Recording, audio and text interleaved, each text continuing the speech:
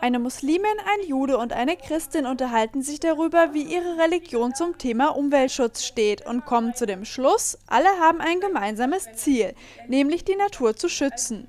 Beim diesjährigen Trialog der Kulturen, dem Schulenwettbewerb für interreligiöse Verständigung, war genau dies das Thema.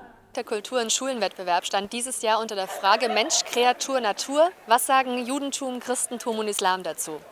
Die Jugendlichen haben sich ein Jahr lang mit der Frage nach Energiewende, wollen wir Atomstrom oder Solarenergie, beschäftigt. Sie haben sich die Frage gestellt, wie viel uns Menschen eigentlich wert sind, die unter unerträglichen Bedingungen unsere Kleider, die wir am Leib tragen, herstellen müssen.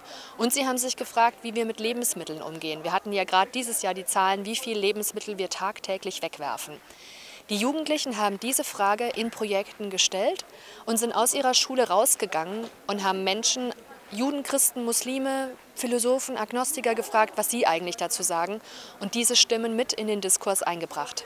21 Schulen aus fünf Bundesländern, unter ihnen auch hessische Schulen, hatten sich für den Wettbewerb qualifiziert und ein Jahr lang an ihren Projekten gearbeitet. Diese reichten von einer Theaterinszenierung von Nathan dem Weisen bis hin zu einem Poetry Slam. Am Ende der rund zweistündigen Verleihung war dann die Spannung mit Händen greifbar.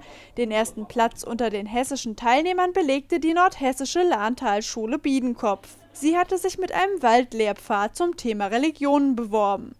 Der Waldlehrpfad beschäftigt sich an sieben Stationen die die Schüler hergestellt und im Wald aufgestellt haben mit den Lebensfragen, die in den verschiedenen Religionen eine Rolle spielen.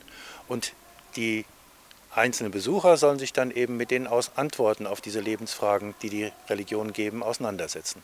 Doch beim Trialog der Kulturen gibt es im Grunde keine Verlierer. Alle Erst- bis Drittplatzierten durften sich über Preisgelder zwischen 4.500 und 9.000 Euro freuen.